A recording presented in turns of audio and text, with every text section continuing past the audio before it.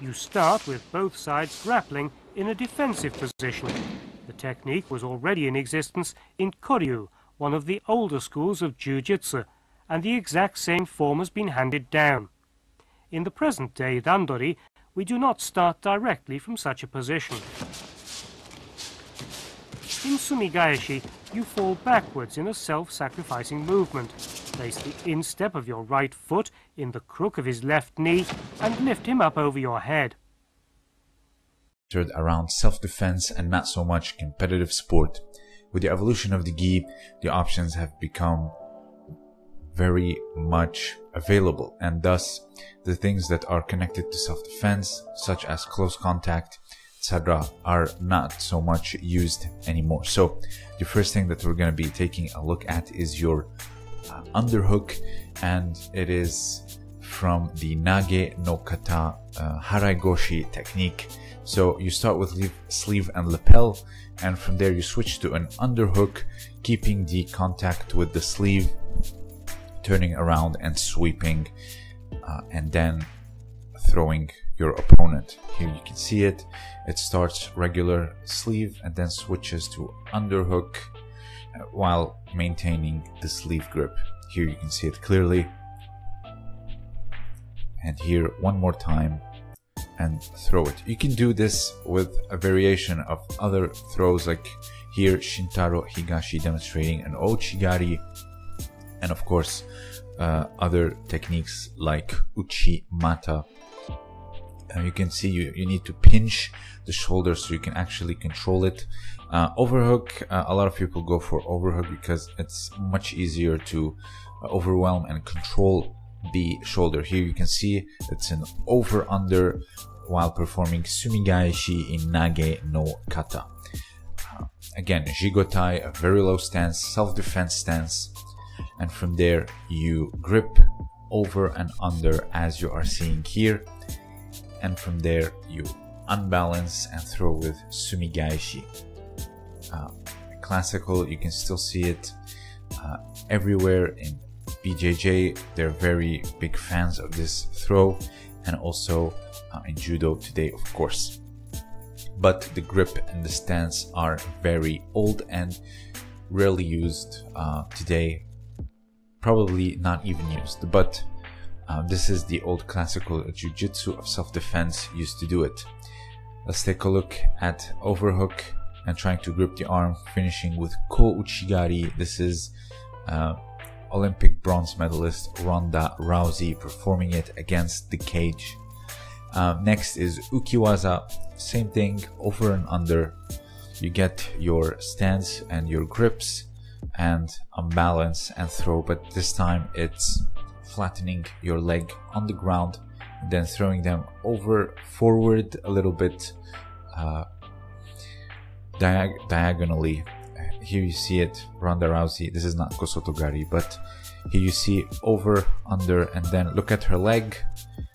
And finally is your two on one. This was mostly for arrests and disarming here from Maeda's book, Self-Defense of Jiu-Jitsu. Um, he goes through it while disarming uh, guns and knives. Let's see Rickson demonstrating it in video.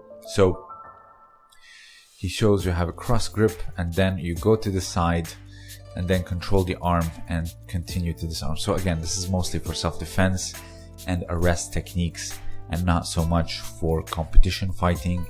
Uh, however, in no-gi, uh, this is a very popular grip, especially in Greco, since you are uh, standing upright. So here is Vlad Kulikov demonstrating a two-on-one off a collar tie, controlling the wrist and of course the bicep and then keeping close contact with the shoulder. So it's very important to control the arm and then from there you proceed to move them around it. You go to the side, much like the arrest and self-defense techniques. And here he demonstrates a legless fireman's carry. Uh, again, uh, this is for Nogi. Greco-Roman would be uh, very, uh, would get a good use out of this two on one Uh, also, Wheeler, Olympic bronze medalist, was a big fan of the two on one. Here, Vlad Kulikov demonstrated very smoothly.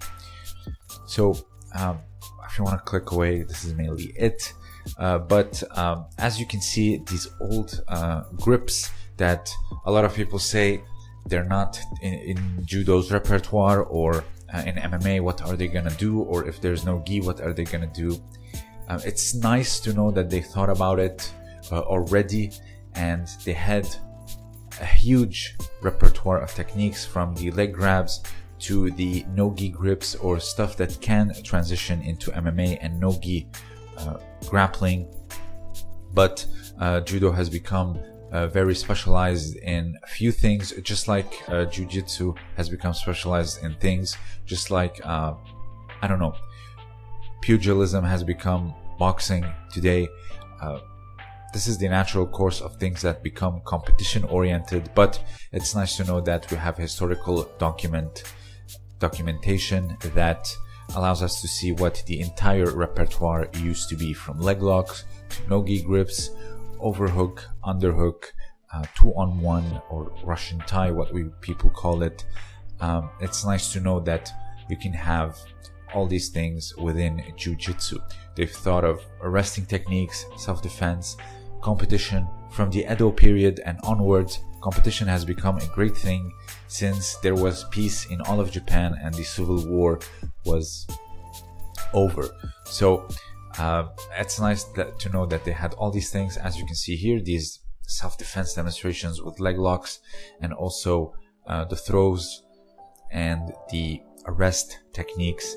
It's such a rich and complete art, in my opinion, and it shouldn't be reduced to only, you know, competition and randori. Uh, in France, they have what is called jiu-jitsu class, but uh, it's not BJJ. It's uh, self-defense jiu-jitsu. Uh, I don't know if they spar, but they do a lot of kani basami. They do uh, leg locking techniques and they uh, do randori as well and also self-defense scenarios so uh, perhaps i should give it a shot i don't know but uh, for now uh, it's this is the video and uh, it's nice to know that they had all these options and they've thought of all the scenarios so if you have anything else to add please let me know down below. Also, consider supporting me on Patreon. I have exclusive content for the patrons only, but as always, my main content will always be on the main channel.